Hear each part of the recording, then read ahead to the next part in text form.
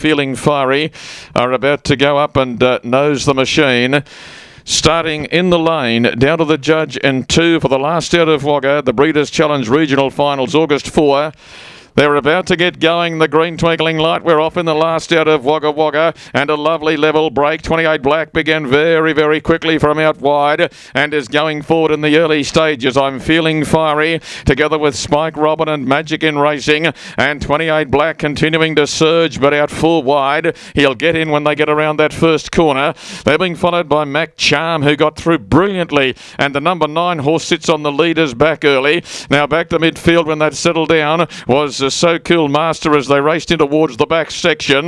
They were being followed through on the inside by Most Delightful. Now Beta House is well back with Molly Kelly, and there's another one back with those last of all in Barkway Arnold. They've made their play down towards the uh, mile portion of the course, and the leader on the inside is uh, Spike Robin, is joined by 28 Black, who knows only one thing, and that's to get up and work outside that leader's wheel now. In fact, he's gone up to the leader's neck. So Spike Robin to 28 Black. Max Sam getting a lovely run on the inside as third. Now one and one uh, was I'm Feeling Fiery. Over on the inside is So Cool Master. They're being followed by Grinning Punter. Further back to Beta House and then well back was Philanderer being followed further back in the field by Most Delightful who's on the outside. Barkway Arnold made a little bit of ground up along the inside. Second last was Molly Kelly. Magic in Racing was last of all and the dozen of them sweep past the judge. A lap to play. They've gone 31 and 8 the first cut of the last mile,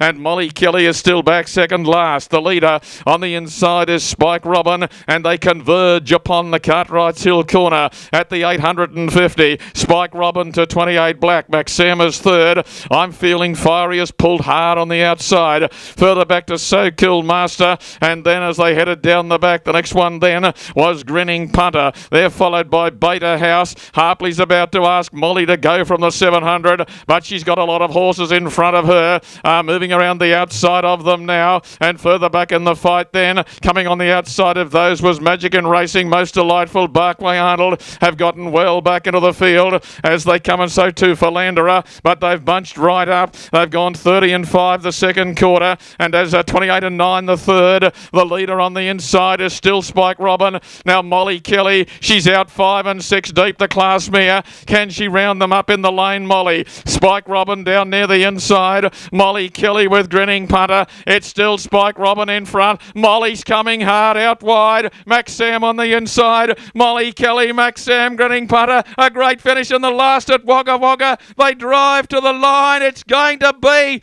Oh, to touch a photo. It's either Max Sam or Grinning Punter, and there's absolutely nothing in it with those two. Molly Kelly was up close, and so too was So Cool Master and Philanderer Spike Robin. I'm feeling fiery. Beta House, most delightful. What a finish to the last of the day. Further back then was Magic in Racing, and 28 Black just did too much work outside the leader and is going to be one of the last ones clocking home.